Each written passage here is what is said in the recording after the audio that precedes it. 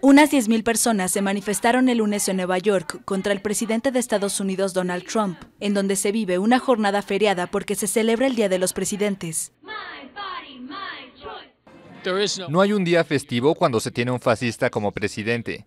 Tienes que luchar contra él todos los días, todas las noches, todo el tiempo. Él no va a parar, así que nosotros tampoco.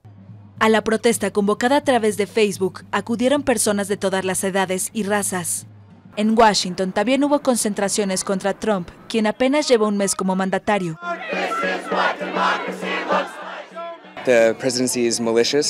Uh, la presidencia es maliciosa e incompetente, y eso es una combinación bastante terrible, porque está tratando de hacer lo que se propuso hacer, con lo que estoy totalmente en desacuerdo en lo fundamental y él ni siquiera lo hace bien. Y francamente, esto es exactamente lo que yo esperaba.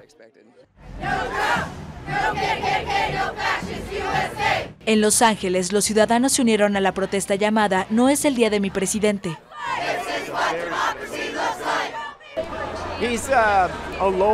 Es un bribón, es un acosador, es un mentiroso, es un divisor. ¿Qué más puedo decir?